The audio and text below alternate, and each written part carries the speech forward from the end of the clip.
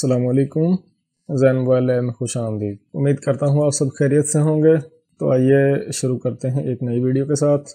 मेरे साथ रहिएगा। आप देख सकते हैं, मेरे पास एक बॉक्स है।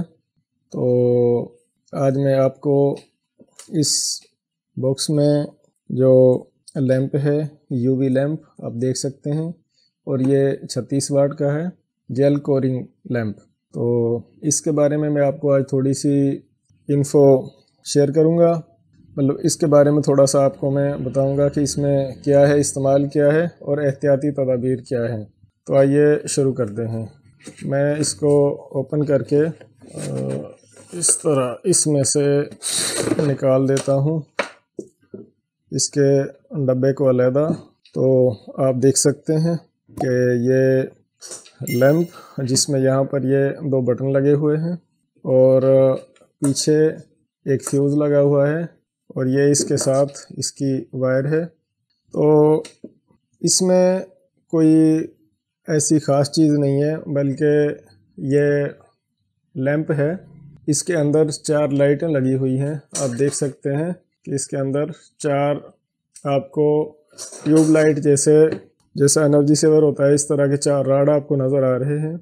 लेकिन इनकी खासियत यह है कि ये एक ख़ास किस्म की रेडिएशन पैदा करते हैं। इसकी जो शुआएँ हैं, वो जब जेल पर पड़ती हैं, जो यूवी पेस्ट होती है उस पर तो वो एलसीडी और टच के जैसा के सेंटर में लगाकर को इस्तेमाल करते हैं तो वो हार्ड हो जाती है। इसके इस्तेमाल का तरीका यह है कि इसमें जो जगह आपको नज़र आ रही है, इसके सेंटर में आपने जो मोबाइल के एलसीडी और टच जैसा कि आप पैनल सेपरेट करने के बाद दोबारा टच लगाते हैं और उसको यूवी पेस्ट ये आप देख सकते हैं, ये पेस्ट है यूवी जो इस लैंप के साथ इस्तेमाल की जाती है। अगर आपके पास लैंप ना हो तो इसमें आप देख सकते हैं कि लिक्विड है। ये यहाँ पर आप देख सकते हैं कि ये आपको इसमें एक बुलबुला सा नज़र आ रहा होगा।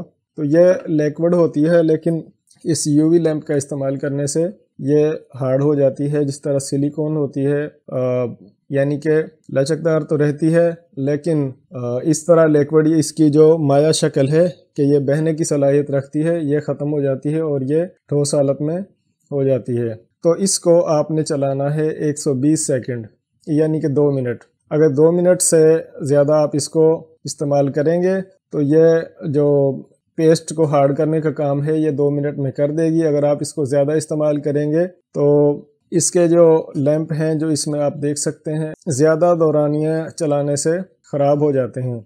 और अगर मैं इसको ऑन करूँ, मैंने ऑन किया, आप देख सकते हैं कि इसमें से रोशनी पैदा हो रही है।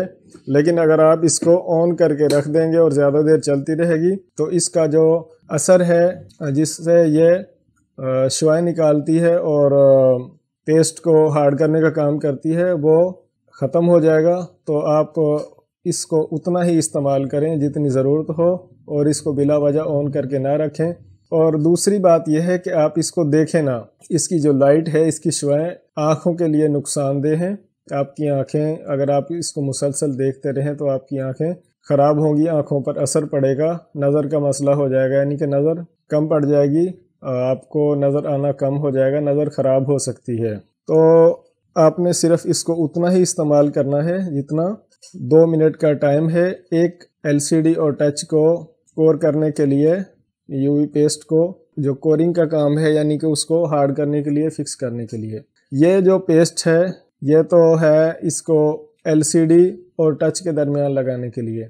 लेकिन मेरे पास ये एक पेस्ट और भी है, आपको ये देखें, ये मैकेनिक वालों ने बनाई है। इसका मॉडल वगैरह आप देख सकते हैं। और इसको कहते हैं यूवी सोल्डिंग मास्क इंक यानी कि अगर मोबाइल में से कोई प्रिंट टूट जाता है, जिस तरह एल नोकिया में एलसीडी के पॉइंट होते हैं तो वो आप जैम्पर करके और ये इंक लगाएँ यूवी पेस्ट ये जो है, ये वाली यूवी जो इस लैंप का नाम है तो इसके ऊपर भी यूवी लिखा हुआ है, लेकिन ये सोल्डरिंग मास्क है और इसमें बिल्कुल लिक्विड है, स्याही जैसा, बिल्कुल इसी तरह का है, लेकिन ये नॉर्मल हार्ड होता है और ये बहुत ज़्यादा हार्ड हो जाता है, यानी कि बोर्ड पर इसी तरह बन जाता है, जिस तरह बोर्ड का प्रिंट होता है। तो इसी यूवी लैंप का इस्तेमाल करके आप, यानी कि अगर बोर्ड का प्रिंट टूट जाता है, उसको जंपर करके इस इनको उसके ऊपर लगाएँ और दो मिनट के लिए इसी लैंप में रख दें तो वो